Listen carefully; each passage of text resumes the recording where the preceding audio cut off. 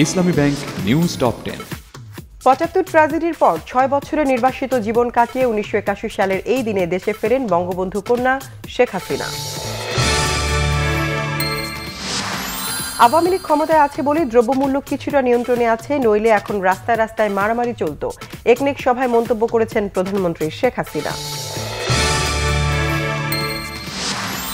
দু হাজার বাইশ তেইশ অর্থ বছরের জন্য দুই লাখ ছেচল্লিশ হাজার ছেষট্টি কোটি টাকার এডিবি অনুমোদন জাতীয় অর্থনৈতিক পরিষদের নির্বাহী কমিটি একনেক সভায়।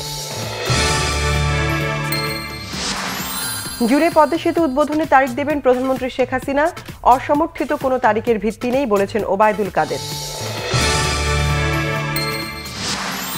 আওয়ামী সিন্ডিকেটের কারণে ভরা মৌসুমেও বাড়ছে চালের দাম। কৃষকরা পাচ্ছে না ন্যায্য মূল্য বলেছেন বিএনপির মহাসচিব মির্জা ফখরুল ইসলাম আলমগীর।